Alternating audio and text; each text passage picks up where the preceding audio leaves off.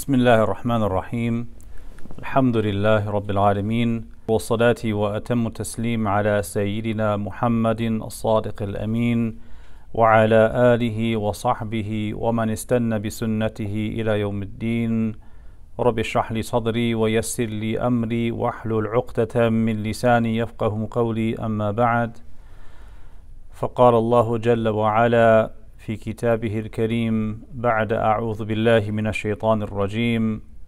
وكذلك يجتبيك ربك ويعلمك من تأويل الأحاديث ويتم نعمته عليك وعلى آل يعقوب كما أتمها على أبويك من قبل إبراهيم وإسحاق. إن ربك عليم حكيم. صدق الله العظيم. Alhamdulillah, the past couple of weeks we've been talking about this verse that really opens into the story after Yusuf alayhi salam related his dream to his father Yaqub alayhi salam. We're still in the very beginning part of the story, right before the brothers hatch their plot and express their jealousy.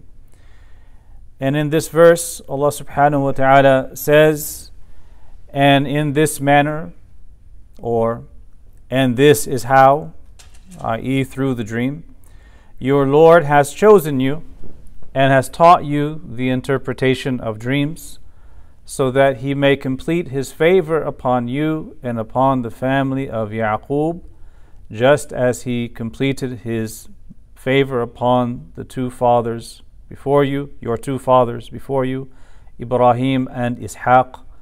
Verily, your Lord is all knowing, all wise. Last week we talked about the lessons we learned from Yaqub telling Yusuf alayhi salam to keep the dream a secret and not disclose it to his brothers. We talked about envy and sibling rivalry, and we looked at some of the different blessings and favors Allah Ta'ala gave Yusuf. We spoke about the meaning of the term ijtiba as being chosen and selected. And we talked about whether that is speaking about prophethood or other blessings. We said that it has to refer to one or the other, it cannot refer to both. Because later in the verse, it mentions the completion of favor, and that is referring either to prophethood or to something else.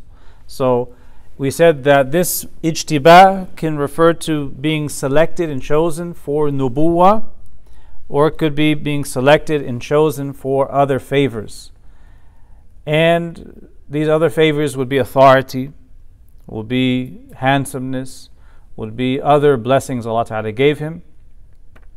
And then we looked at the meaning of ta'wil al-ahadith, because this is Yaqub alayhi salam speaking to his son Yusuf, saying, In this manner, through this dream, Allah has selected you. Allah has selected you and is teaching you and shall teach you ta'wil al ahadith.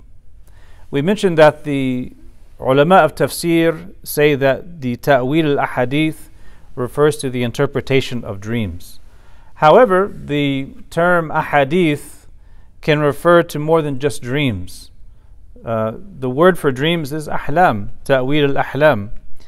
Here, one could suggest that it's not just dreams, but also the interpretation of speech, of discourse, of being gifted with the knowledge of discerning when a person is telling the truth or speaking a lie, of knowing how things will unfold based on what is disclosed in conversation uh, some of the ulama, such as Ibn Ajiba, say that ta'wil al-ahadith is the interpretation of dreams as well as having a deep understanding of the ahadith, meaning the, the narratives of the previous anbiya and the ulum, the sciences of the anbiya before him.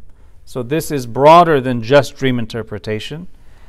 And then we looked at the part in the ayah where Allah Ta'ala says, and this is Yaqub speaking to Yusuf, وَيُتِمُّ نِعْمَتَهُ عَلَيْكَ وَعَلَى آلِ يَعْقُوبَ And he completes his favor, his blessing upon you and upon the family of Yaqub. And we were looking at this last week. What is the meaning of the completion of favor? Is it prophethood or is it something else? Other favors. A lot of the ulama of tafsir look at the first phrase, ijtiba, and say it is speaking about power, authority, uh, and handsomeness and other favors that he was selected for by Allah Ta'ala. And they say that this part, this completion of favor upon you and the family of Yaqub, refers to nubuwa, refers to prophethood. That Allah Ta'ala will select Yusuf alayhi salam with nubuwa, being a prophet of Allah Ta'ala. When we look at this part of the verse, we see the wow, the and. وَيُتِمُّ نِعْمَتَهُ عَلَيْكَ وَعَلَى آلِ يَعْقُوبَ He completes the favor upon you and upon the family of Yaqub. If we say that the completion of favor here is referring to nubuwa, to prophethood, would it also mean that it's saying the family of Yaqub are also blessed with prophethood? Or could we say that the and here is referring to a different ni'mah altogether, other than prophethood? The ulama differ about this. Some of the ulama of tafsir take the position that this part of this part of the verse, the completion of favor, is about prophethood. That Allah Ta'ala shall bestow nubuwa upon Yusuf alayhi salam and the family of Yaqub refers to the brothers and they too will inherit the rank of nubuwa. This is a position of some, not the majority, but it's a position. The other position says no. This is speaking about Yusuf alayhi salam and the favor received by the family of Yaqub is different from prophethood. It's not prophethood itself, it's other favors. So we want to talk about this because this is going to show up in the story and it also shows up or and impacts our understanding of other verses of the Quran that speak about the asbat. The, uh, the asbat are referred to as a group of prophets that hail from Yaqub.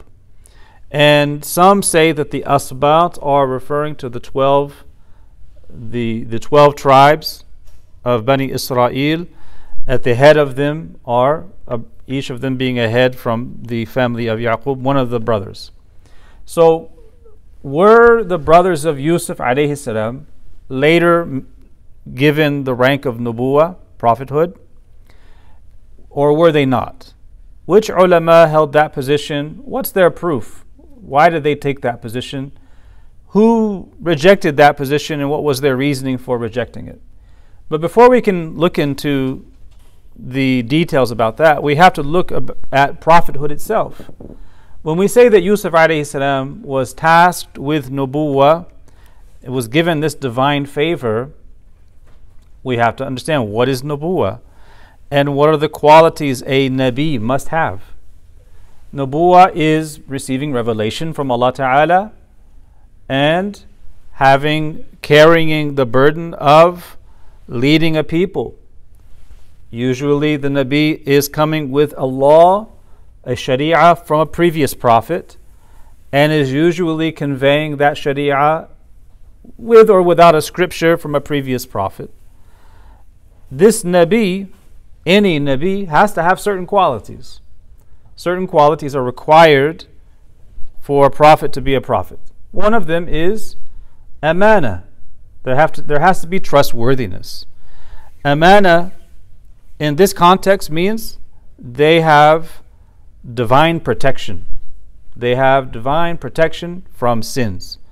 And we call that usma in Arabic. It's the term we use in our tradition in Aqidah It is the divine protection Allah gives to the Anbiya, where they are infallible and protected from sins because a prophet has to be obeyed. When a prophet comes to his nation, whatever he says and does is to be followed. If they were not protected from sins, then it would be obedience to copy them in doing something that is disobedience, which makes disobedience obedience. So, prophets are infallible, they're protected from sin. And according to Ahl Sunnah, all of the prophets of Allah subhanahu wa ta'ala are ma'asum. They are protected from error. And this much is agreed upon by all of the ulama of Ahl Sunnah. It's the unanimous position of Ahl Sunnah. But when we get into the details, we find there's different views. Uh, so when we look at the differences, we see that there's a difference about the scope of isma. In other words, when we say that a prophet is ma'asum, protected from sin, does that mean they're protected from sin before they're given nubuwa as well as after? Or does it mean they're only given isma when Allah tasks them with nubuwa? Which would mean a prophet is ma'asum when they are given the rank of nubuwa, but before they were given that rank, they weren't ma'asum. That, that is a position, that is a position among some of the ulama. Furthermore, we have to look at the scope of isma and what it refers to. What are they protected from exactly? When we say that the anbiya are protected from sin, what kind of sins are we talking about here? Do, are we talking about only major sins? Or are we also talking about minor sins? And there are some disagreements about this among the ulama. But the majority position of ulama in aqidah, the overwhelming majority position, is that the anbiya as a whole are ma'asum. They are protected from sin and error before their nubuwa and after their nubuwa. And they are protected from sin, both major and minor. Some of the ulama in the past said that these prophets are protected from major sins and minor sins that are sins that have some, we call it khissa. You know, they're very loathsome. And they say examples of that would be stealing a morsel of food or uh, slightly cheating in a scale. But if it was something that was non loathsome, such as looking at an attractive woman, they would say that that's a minor sin that's not of khissa, but that's not negated from a prophet before prophethood. But the majority position, yani, مستقر عليه أهل السنة عموما, as they say, the mostly settled position of Ahl Sunnah historically is that the Anbiya as a whole are protected from sins, major and minor, before Nubuwah and after. That's the majority position. And having ad- adopted that majority position and under- understood it, it informs how we understand the tafsir of Quran. Because if we take that position as our lens, when we look into the story, we're asking ourselves this completion of favor upon the family of Yaqub, the brothers, and the family as a whole. Can we say that's nubuwa? Can we say that it refers to prophethood? Because that would mean the brothers of Yusuf alayhi salam would also later on be gifted by Allah Ta'ala the station of Nubuwa.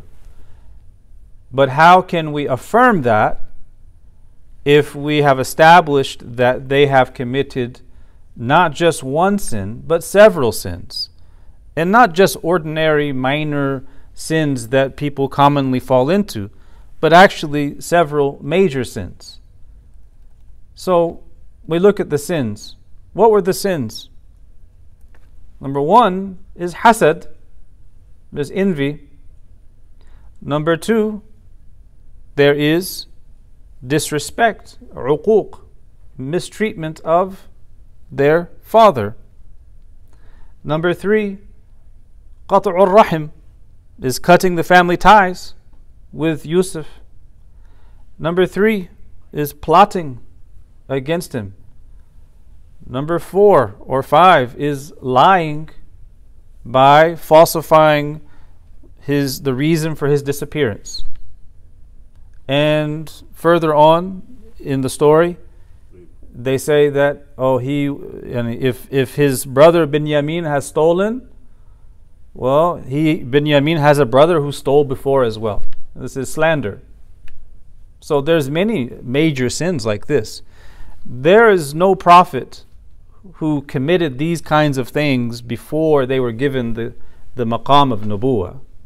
So the conclusion, according to this position, is that they couldn't have been prophets even after this. And that informs our understanding.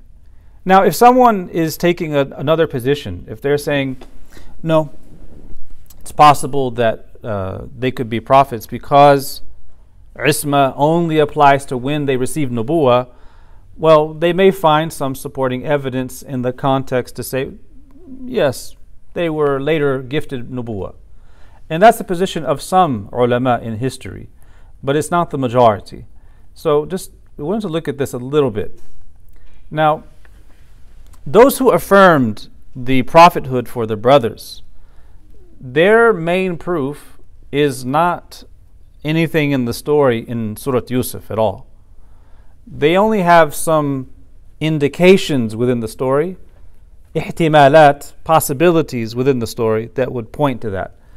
The most direct proof they have for affirming nubuwa for the brothers are the verses in the Quran where Allah subhanahu wa ta'ala instructs us to say we believe in Allah and what He has revealed to us and what He has revealed to Ibrahim and Ismail and Ishaq and Yaqub wal asbat the mentioning of the asbat.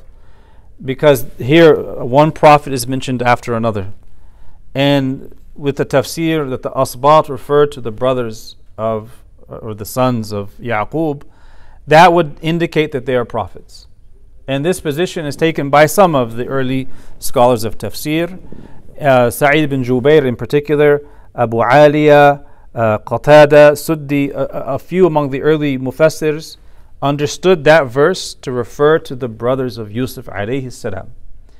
And they said that these wrong actions they committed were before Nubuwa, therefore it doesn't contradict the usma they would have as they were blessed with Nubuwa, as with prophethood.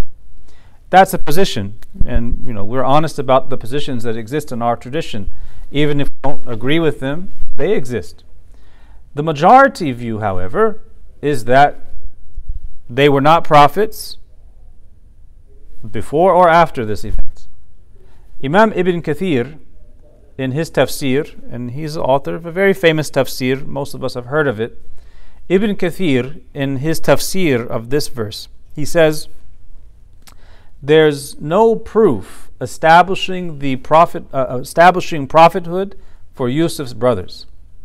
He says, some claim that they received revelation after these events, but that is questionable. Fihi nazar. He says, and the claimant needs to furnish proof, whereas he only mentions the verse about the asbat, to which it is replied, that is only a possibility. That's only an ihtimal.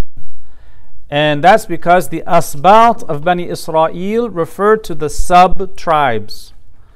And Allah Ta'ala mentions the asbat in general because there were so many, each of which descended from the brothers of Yusuf, and there is no proof that they, the brothers of Yusuf, received wahi.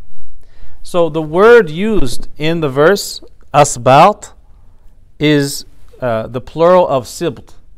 And sibt, in its original meaning in Arabic, refers to a tree that has lots of branches. That's the original meaning in Arabic. And it is later applied to uh, anyone who has many uh, sons with grandsons and many descendants.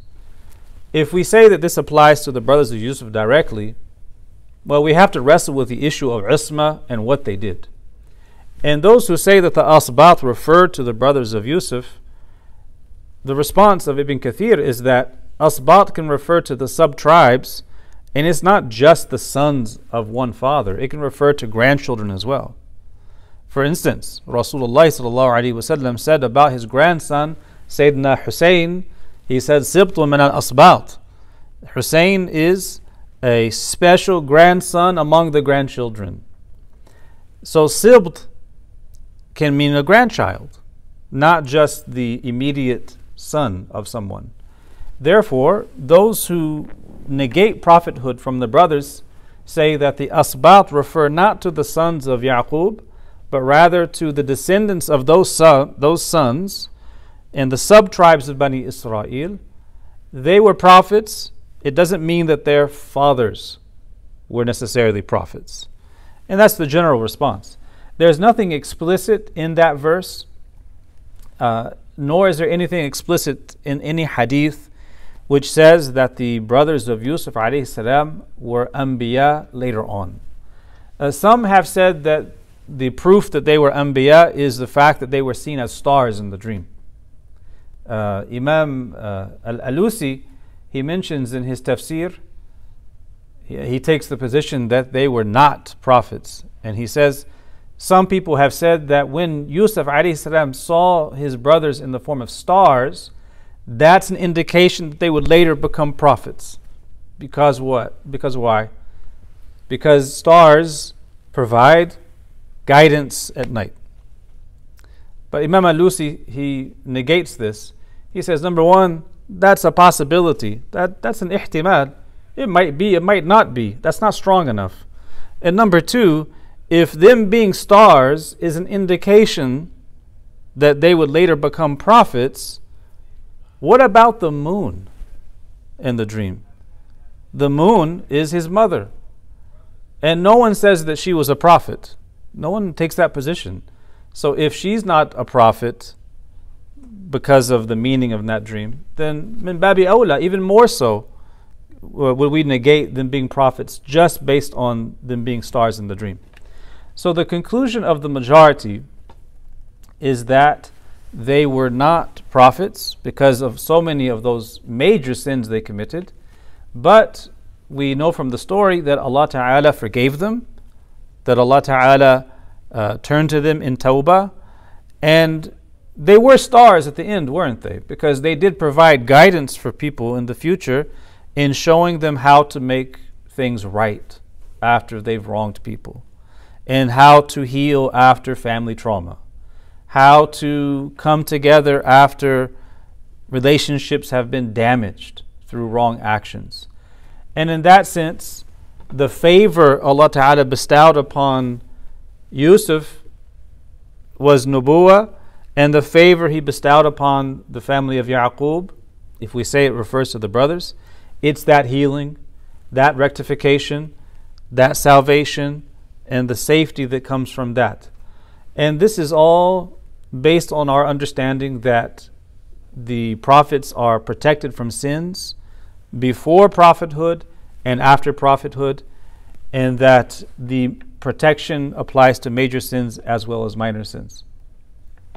Now, in the verse after Yaqub talks about this, he says, Allah shall teach you the interpretation of dreams and complete his blessing favor upon you and upon the family of Yaqub as he completed the favor upon your fathers Ibrahim and Ishaq. We want to look at this part as he completed the favor upon your fathers before you, Ibrahim and Ishaq. Note how Yaqub refers to the grandfathers as your fathers, showing the affinity, the closeness they had. And how was the favor completed for them? How was the favor, the blessing completed for Ibrahim and Ishaq? The ulama mention a number of things. They say, number one, Ibrahim alayhi salam was chosen with the rank of khulla because he is Khalilullah, The Khalil of Allah means the intimate friend. He was chose with, chosen with that station of khulla. He was also chosen with risala. He was also delivered from the fire. He was also delivered from Nimrod. He was also given victory. So, and he was also uh, victorious in so many fronts. So he was chosen in so many different ways. And, Is- and Ishaq was chosen with Nubuwa, and according to one position, safety from dhabh, from slaughter. Now, this opens up another area of investigation we don't want to go into. When the ulama of tafsir mention this, what they're alluding to is an early disagreement among scholars about the identity of the one who was sacrificed or to be sacrificed by Ibrahim alayhi salam. We say that the dhabih, the one who was supposed to be sacrificed by divine command, who was then replaced by the sacrificing of the ram, was Ismail alayhi salam. That is the overwhelming majority view of ulama. However, there is a very strong argument to be made and a, a, position held by many scholars in the past that it was actually Ishaq. And this is not the time to go into the argument. Um, the argument in favor of it being Ishaq, in, to me at least, is not, I don't find it convincing. But it was there, you know, and there's something to be said for it. And according to that position, the ulama of tafsir say that the safety from that would also be a part of the favor, the blessing given to Ishaq. Uh, in any case, Nubuwa itself is a tremendous favor, and that was given to Ishaq alayhi salam. And then uh, Yaqub, who's speaking here to his son Yusuf, he then says, Verily your Lord is Alimun Hakim. He mentions two of the names of Allah subhanahu wa ta'ala. And we learn in tafsir that as we read the Quran and engage with its meanings, we always pay attention to the names of Allah that are mentioned at the end of verses like this. Because there's always a connection between the names of Allah mentioned at the end of these verses and what is mentioned in the verse itself. Therefore, what is the connection between the divine name Al Alim, the all knowing, and the name Al Hakim? How do they relate to what Yaqub is saying to his son Yusuf in this situation? Imam al Razi says that Al Alim, by mentioning the divine name Al Alim, the all knowing, Yaqub mentions this name because it points to the fact that Allah subhanahu wa ta'ala chooses for nubuwa whomever He wills. And His knowledge is without beginning, without end, without limitation and he chooses for his for nubuwa whomever he wills. Allah subhanahu wa ta'ala says, Allahu a'lamu haythu yaj'alu risalata. Allah knows best where to place his message. He placed it with Yusuf and did not place it with others. Allahu alim. Allah is all knowing, He knows best where to place it. And the second one, Hakim, the wise. He says, Imam al Razi says that the mentioning of Al Hakim in this context is because Allah Ta'ala is uh, exalted, munazzah, transcendent, uh, beyond foolishness, beyond ignorance, and beyond doing things in a haphazard or foolish manner. He only places nubuwa in luminous and pure souls. So the two are interconnected. All knowing, and wise with reference to who is given the gift of nubuwa, and that is Yusuf alayhi salam. And this is really the, the, the, the, starting point of the story before it shifts into the response of the brothers. We have Yusuf alayhi salam, the, the opening of the chapter, and then Yusuf salam saying to his father, I saw I saw 11 stars and the sun and the moon, I saw them all prostrating to me. And then comes the response of his father, and then the glad tidings, and then the end of this verse. And then we shift into Allah Ta'ala. Allah Ta'ala does the shifting by says by saying that in this story are signs for those who ask. And then he mentions immediately the plot and the response of the brothers. So we have here already a shift very quickly in the story. And this is what we call iltifat. We go from Yusuf salam speaking about the dream, his father responding, Allah Ta'ala mentioning that in this are signs, and then the brothers. Now they're talking. Between seeing the dream and the actual conversation of the brothers is an undetermined amount of time. It's, it didn't happen a minute later. We, it's an undetermined amount of time, but we understand that some time elapsed between the conversation of Yaqub and Yusuf and the brothers talking among themselves. So there is this shift here. And, and this is really the first segment of the story. Now, this actually opens the door for us to reflect on the first part of the story, the opening of the story, if you will. And in that reflection, we want to look at something that we touched on a little bit in the beginning, but didn't go into great detail about. Uh, in the first part of the tafsir class, we looked at the science of Quran in general, and we looked a little bit into the science of tafsir, how tafsir operates as a science.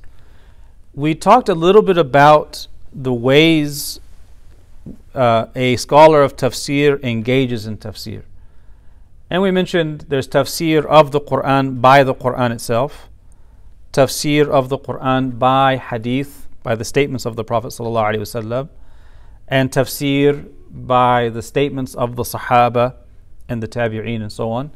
But that is only one type of tafsir. Let's look at a couple of the different types, and in particular, a type that gives us a window into some reflections about the first part of the story. When we look in the books of tafsir, and there are many, we see that they each have a certain theme about them. There's different genres of tafsir. And the first genre of tafsir and the, and the most famous genre is what we call uh, a tafsir bil ma'thur. A tafsir bil ma'thur literally means tafsir by way of transmission, by way of what is transmitted in the athar, the report. And that is the tafsir of Quran by Quran. The tafsir of Quran by prophetic statements and hadith. Tafsir of Quran by the statements of the Sahaba and the statements of the Tabi'een or a very broad tafsir based on the outwardly apparent, obvious meaning of a verse. And this is our foundation in tafsir. Tafsir bil Ma'thur. The most famous tafsir bil Ma'thur that we have is perhaps the tafsir of Imam al Tabari because it's one of the earliest and it catalogs what has been said and recorded about the meanings of the verses. Uh, other famous examples of tafsir bil ma'thur is the tafsir of Ibn Kathir. That's a very famous tafsir. It's translated into English, I think also in Urdu and other Islamic languages. It's very famous and it's very straightforward as well.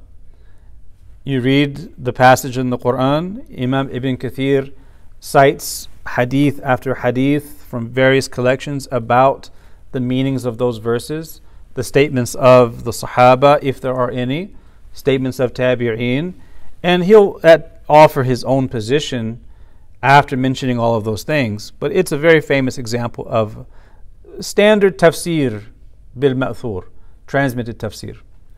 Um, the, probably the most exhaustive example is uh, Dur al Manthur fil Tafsir bil Ma'thur of Imam Suyuti. He kind of cataloged everything that had been said in this area of tafsir. The in, kind of standing at the opposite or on the other side of this kind of tafsir is what we call a tafsir bil ra'i. Tafsir bil ra'i literally means tafsir with opinion. And we don't mean an unfounded opinion, but it is possible that there exists a tafsir bil ra'i in that it's an unfounded opinion. And that would be condemned. But generally, the tafsir bil ra'i is the tafsir that's not relying on transmission, but it's relying on the sciences of Arabic. This is the tafsir that relies on Arabic grammar, the tafsir that relies on uh, rhetoric, balagha, that relies on uh, the, the ma'qulat, the, the rational sciences. And those sciences are used uh, as a way of interpreting the meanings of the verses. And this is found in tafsir that explore the linguistic aspects of the Quran. Uh, Imam al-Zamakhshari's tafsir is a good example, probably the most famous example of tafsir relying on the Arabic language, and there are many others. Um, but you find that the majority of the classical and well respected tafsir are really a combination of tafsir bil ma'thur and tafsir bil ra'i. So you name any famous tafsir, and usually it's a combination of the two. Whether that is the tafsir of Imam al Qurtubi, whether it is the tafsir of Imam al Razi, the tafsir of Al Imam al Alusi, Ruh al Ma'ani. These are combinations of ma'thur and ra'i. They take their mastery of all of the ulum and apply them to tafsir. So there's the the knowledge of hadith and transmission and the knowledge of Arabic and theology and fiqh and usul and rhetoric and so on. And all of that shows in their tafsir. This is the second category. You could add a third category and say there's ideological tafsir.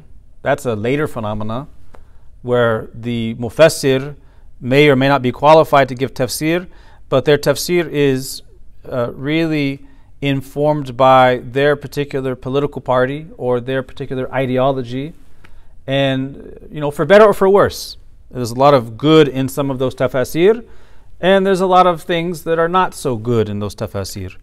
Um, examples of those would include uh, probably the most famous example is Fi Dhilal al-Quran of Sayyid Qutb, also the tafsir of Maulana, uh, Maulana al-Mawdudi, his tafsir is like this as well. Um, but we come to the fourth one, which is the one I wanted to focus on. And we're going to revisit this as we go through each section.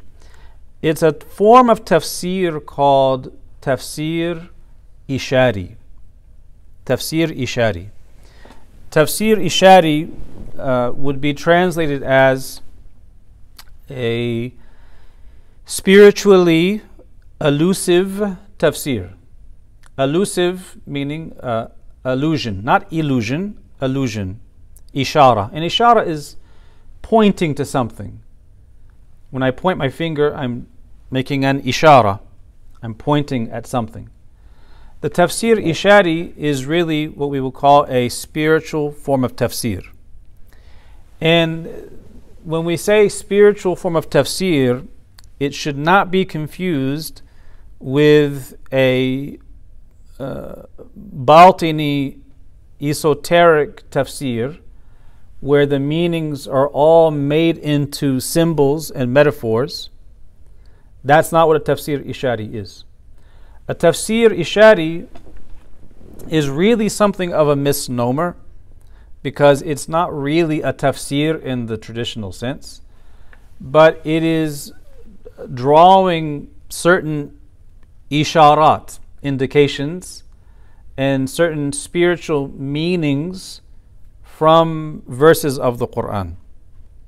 Is drawing some inspiration and some indications from the verses of Quran. It doesn't deny the meaning of the verses, the outward and standard meaning of the verses. There's no denial of that, like the Batinis would. It's affirming those meanings but it's understanding that from that one may derive some other spiritual meaning from it.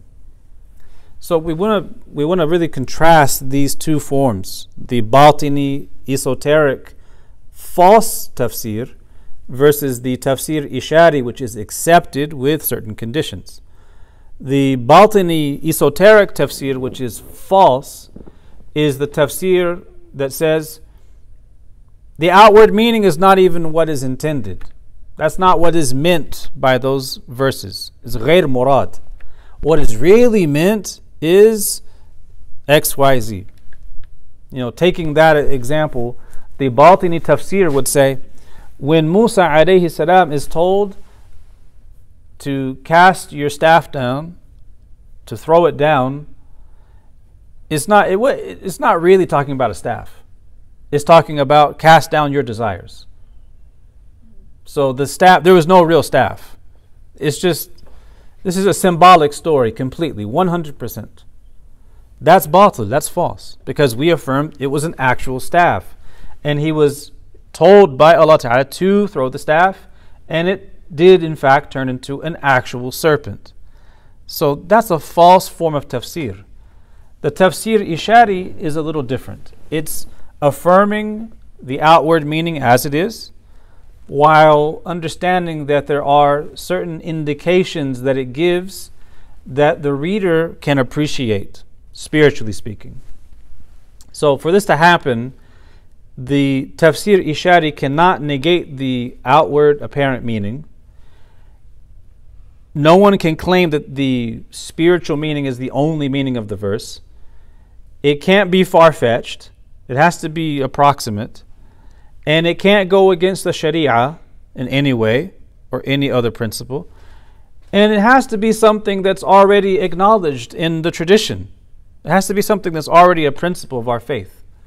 So when we take all of those principles together, all of those conditions rather, and we apply it to the Quran, we see that each passage has in it certain indications. That being said, what indication is found in this part of the story spiritually for us? We look at the Tafsir Ishari literature.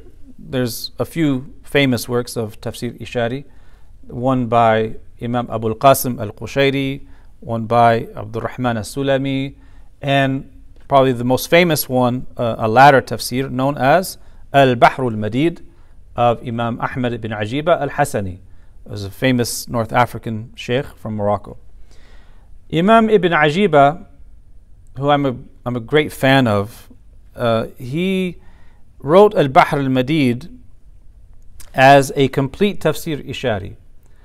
What he does, he, he gives the standard tafsir of the verses, relying mostly on Ibn Atiyah's Al Muharrar al Wajiz, his tafsir.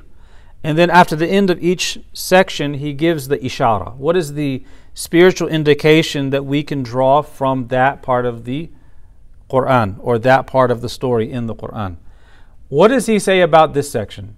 After mentioning the dream and the conversation between Yaqub and Yusuf, he looks at this part and says, the ishara is that the illuminated beginnings point to illuminated endings.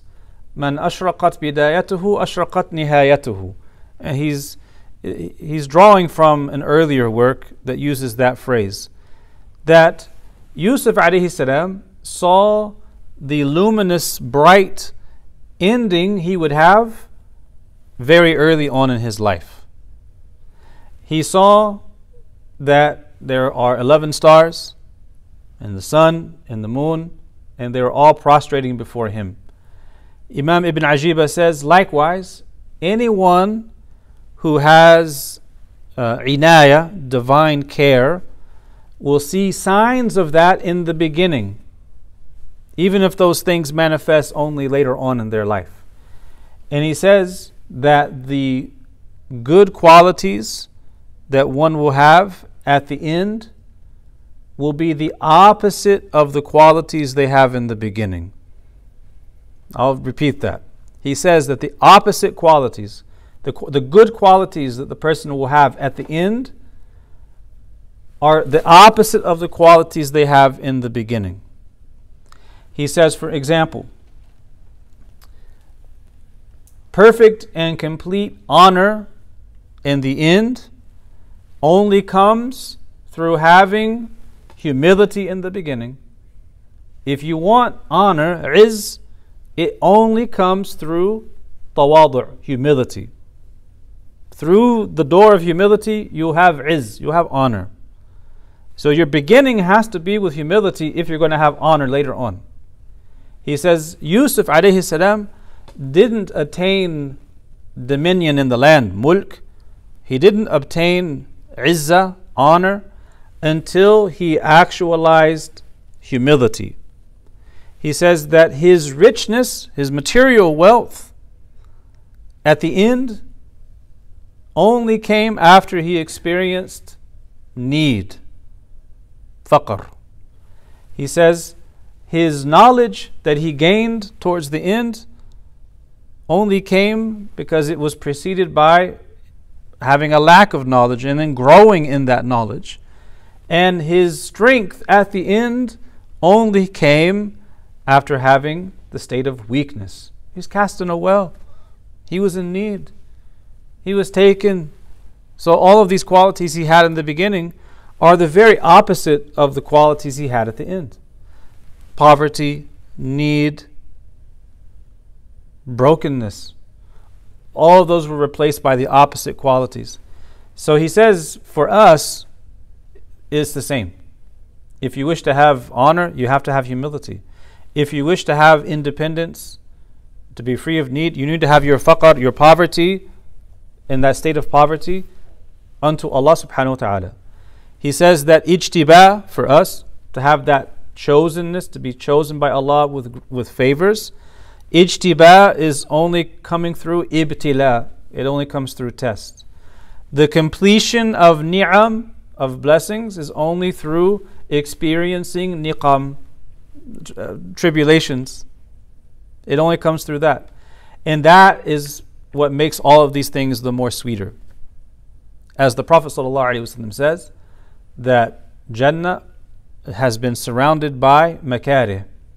Hufat Jannah bil makari. Jannah has been surrounded by things that are disliked, things that are tough, things that are not so nice. Right? And Imam Ibn Ajiba, he says this hadith applies both to the Jannah of Zakharif, the Jannah of the garden, the actual garden itself, as well as the Jannah of Ma'arif, of closeness to Allah and divine knowledge. It's also going to be surrounded by difficulties, tribulations, and trials, ups and downs. So the lesson we get from this is Yusuf alayhi salam in the very beginning, this is before he starts to experience all of these things. In the very beginning, he has the vision of the end. But before he gets to that end, he goes through all of these things. But there's in the beginning the signs of the illuminated end. You just have to know what they are. And this is Ibn, Ibn Ajiba's ishara, his spiritual indication from this part of the story. As you see, it's not negating the actual facts of the story, it's affirming the outward meaning of the story.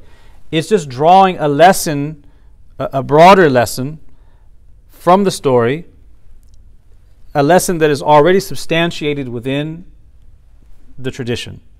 And that is that to have those things, you get them through their opposites. And the one who has an illuminated beginning is the one the one who has the illuminated ending has the illuminated beginning because you have to start from some beginning. And that beginning is through wakefulness and tawbah and journeying to Allah subhanahu wa ta'ala. And you experience different tribulations and trials along the way. But ultimately, it is illumination. Ultimately, it is forgiveness. Ultimately, it is a sweet experience after going through all of those things. That's the ishara that he derives from the verse. Uh, Walhamdulillahi Rabbil Alameen. So next, um, next week, inshallah, we go into the plot. We go into what the brothers of Yusuf do and how they do it, how they try to cover it up, and all of these things. We move along into the story, inshaAllah ta'ala, uh, starting with the verse, لَقَدْ كَانَ فِي يُوسُفَ وَإِخْوَتِهِ ayatun lisa'ilin. Certainly, with Yusuf and his brothers, are many signs for those who ask. So we'll look at that verse and then we'll go into the plot as well and how it's carried out.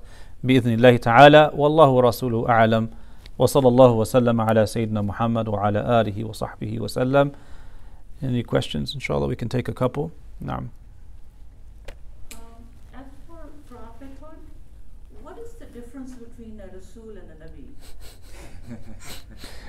it's a good question.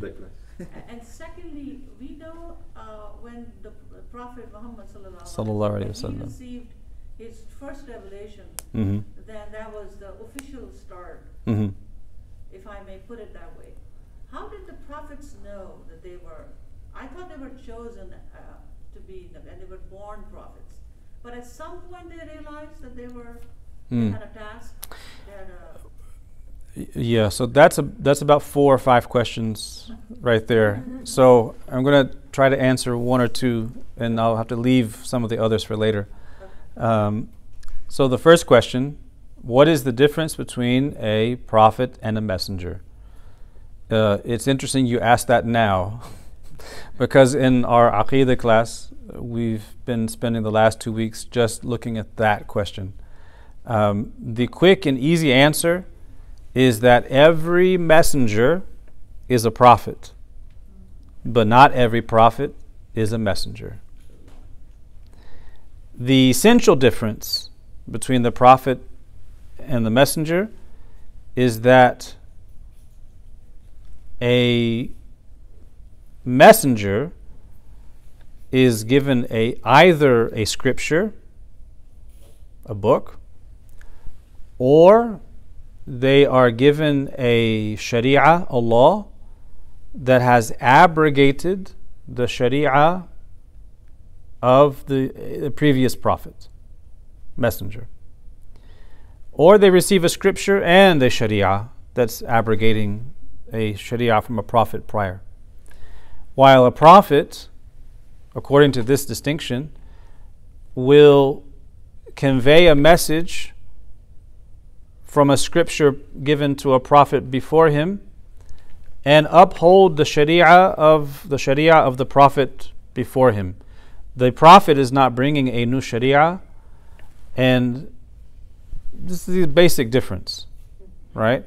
So on that basis, and, and there's differences of opinion about the exact nature, but on that basis, Musa alayhi salam was when Allah Ta'ala uh, revealed to him at the burning bush, that was nubuwa.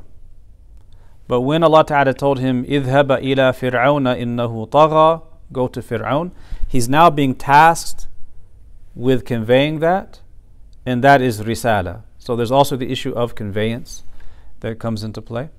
Um, Rasulullah sallallahu alaihi wasallam, when he receives iqra bismi rabbika alladhi khalaq, that's nubuwa. And there was a period of time when he was not told to convey. There's a specific time when he was given the command to convey. Ya. That moment, he's told to arise and warn. That's the risala. As far as the issue of uh, the nature of nubuwa and chosenness, uh, you, you bring up a really good point that's worthy of more exploration and discussion.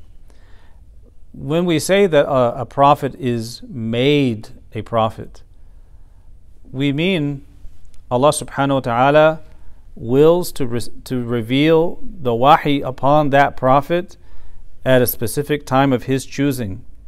Even though that person has been chosen for nubuwa in Allah Ta'ala's knowledge since pre eternity, beginningless eternity. That's Allah Ta'ala's foreknowledge. And the prophets are a community unto themselves, even in the alam al arwah, because they all testified, independent of other people, that if they are alive when the final prophet comes, they will acknowledge him and support him. This indicates that there is there's something beyond, uh, there's something uh, unique to that station that even applies to them before they were born. So it's not that they were some blank slate. and they grew up, and all of a sudden they just became prophets like that. Allah chose to reveal at certain times, but they were chosen obviously in pre eternity. Right? And we see that in some of the hadith as well. As some of the companions, they said, Ya Rasulullah, mata kunta nabiyan, when were you a prophet? And the Prophet ﷺ said, uh, I was a prophet uh, when Adam was between water and clay. Now, what does that mean? Because Adam was the first human being. How can he be a prophet when Adam was between water and clay? It's a little complex. We talked about it in the Lives of Man class. And we mentioned that the ruh of Sayyidina Muhammad was created before the ruh of Sayyidina Adam. And in this sense, he is the first prophet. But Adam salam is the first human being that uh, his physical form was before the physical form of Sayyidina Muhammad So Adam was the first prophet, dhuhuran, in appearance, but in, in the world of souls, the first soul created was the soul of Sayyidina Muhammad and, in, and that's what it means when he says that I was a prophet when Adam was between water and clay. So we don't say that um, the Prophet ﷺ was a prophet in the sense of receiving revelation during his childhood. But at the same time, we know that he is nurtured in the, for the maqam of nubuwa and is always being increased and is protected. And, to, and he receives the wahi when he's 40 years old and was a nabi by that designation and after some time was designated as a rasul. So every messenger is a prophet, but not every prophet is a messenger. So, uh, easier question. What was the name of the third type of tafsir? You said ma'thur, right, and ishari. Uh, so tafsir bil ma'thur, tafsir bil ra'i. Uh, the third, I, I don't know what you. Quran, uh, t- tafsir ideology. fikri. tafsir fikri, yeah. And tafsir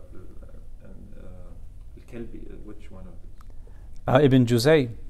Uh, that would be like most tafsir. It's a combination. It's a combination. Yeah.